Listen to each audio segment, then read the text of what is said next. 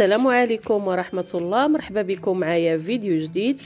آه، في هذا الفيديو إن شاء الله غندير معكم واحد البريوش ساهل واقتصادي. آه، ما كنديروش فيه بزاف ديال الزبدة وكيجي رائع بزاف. آه، غنديرو معكم إن شاء الله بجوج ديال الأشكال.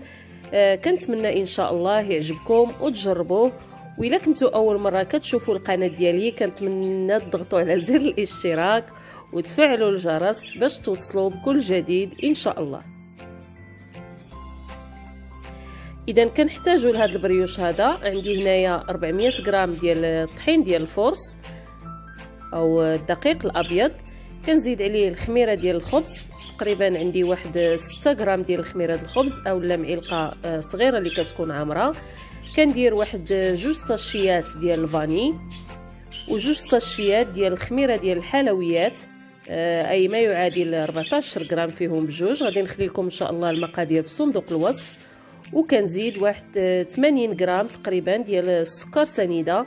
أنا هنايا ما كثرش يعني تقدروا ديروا حتى 100 غرام إلا كتبغيو الحلاوة. اذا هذا ال brioche هذا كي يعني كياكلوه الدراري مع الشوكولات ولا مع ال confiture اذا آه، من الأحسن نقصوا فيه شوية السكر. اذا عندي هنا تقريبا نص كاس آه، مخلط بين الزبدة والزيت. يعني تقريبا واحد جوج معالق كبار ديال الزبدة مذوبه وشي ثلاثة ديال المعالق كبار ديال الزيت النباتية. اذا كنخلط كلشي في البول اللي غادي نعجن فيه وغنزيد عليهم آه، بيضة واحدة نسيت ما قلتها لكم. اذا غادي نزيد عليهم واحد 400 مليلتر ديال الحليب اللي كيكون دافي واحد شوية. يعني تقريبا نص لتر قل واحد شوية وغادي نعجن كلشي مزيان. اذا بالنسبة للحليب الكمية ديالو كتبقى على حسب النوعية ديال الطحين. اذا بعد ما كنعجنو واحد شوية كنزيد آه، واحد شوية ديال الملحة وكنزيد واحد ثلاثة المعالق كبار ديال زريعة الكتان.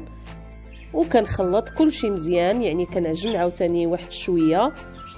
حتى كنحصل على واحد العجينة اللي كتكون بهذا القوام هذا اللي كتشوفوا يعني واحد العجينة مطاطية وكتلصق في اليدين. إذا غادي نجمعوا ديك العجينة ديالنا وغنديروها في واحد البول ونغطيو عليها ونخليوها واحد الساعة تقريبا حتى كتخمر مزيان. إذا هاد البريوش هذا بزريعة الكتان كيجي رائع بزاف يعني كتكون فيه ديك نسمة زريعة الكتان رائعة. وكلنا كنعرفوا أن الدراري الصغار كيعجبوهم لي بغيوش إذا ما فيها باس مرة مرة ندوزو لهم واحد النوعية آه، ديال الأعشاب اللي كتكون هكا منسمة وفي نفس الوقت مفيدة بزاف آه، ليهم ولينا حتى حنا.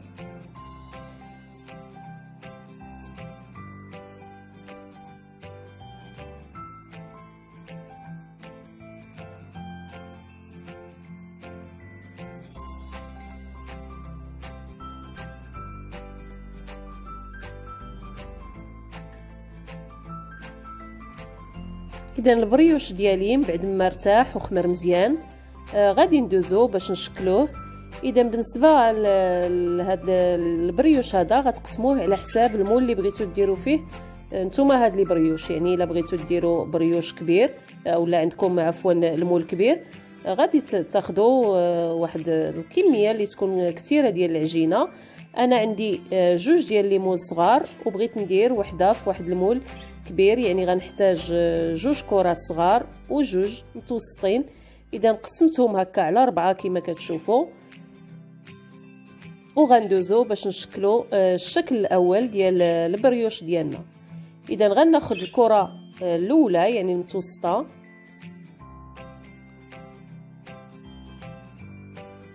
إذا غادي ندلكها بالمدلك إذا بعد ما رشيت بطبيعة الحال سطح العمل بشوية ديال الطحين إذا غنحاول أنني نسرحها تجي على شكل واحد المستطيل كما كتشوفوا وخديت هنا واحد شوية ديال ال confiture ديال البرقوق اللي صايبته في الدار.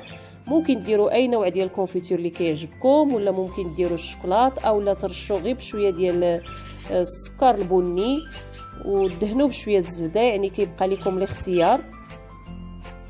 اذا غادي نطوي ديك العجينة ديالي بالشكل اللي كتشوفوا وغادي نخليكم مع الفيديو باش تشوفوا الطريقة آه، اللي غادي ندير باش نشكل هذا البريوش هذا يعني واخا نشرح لكم تنعيه آه، الصورة هي اللي غادي تشرح أكثر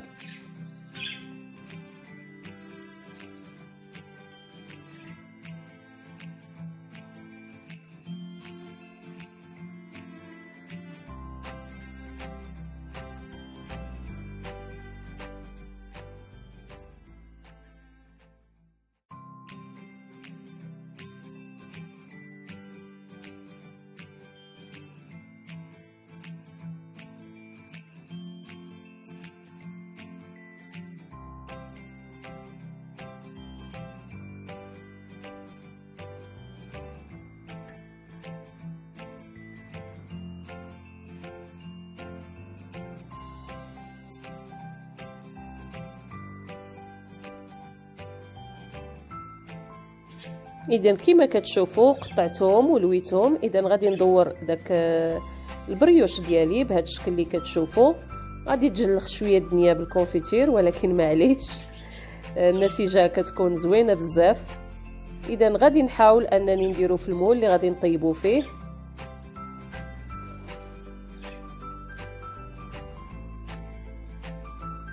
اذا هاد ال moule هذا دهنتو غير بشوية ديال الزبدة.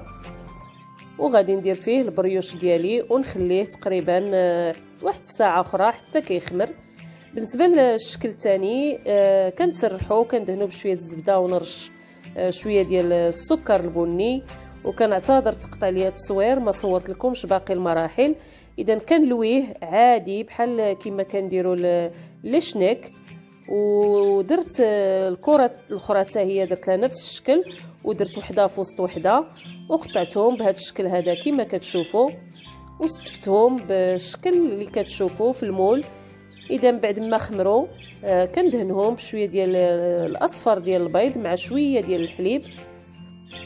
وغادي ندخلهم الفران آه باش يطيبوا. إذا العافية كتكون متوسطة باش البريوش كيطيب على خاطرو.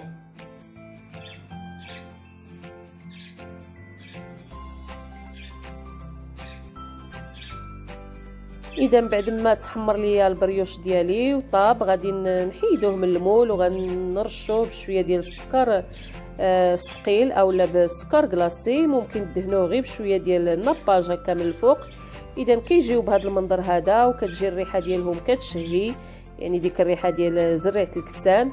وكيجيو غزالين غزالين في المذاق. كنتمنى إن شاء الله ينالوا الإعجاب ديالكم.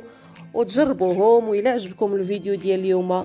بطبيعة الحال ما تنساونيش بواحد لايك وتعليق وشكرا لكم على حسن المتابعة والسلام عليكم ورحمة الله.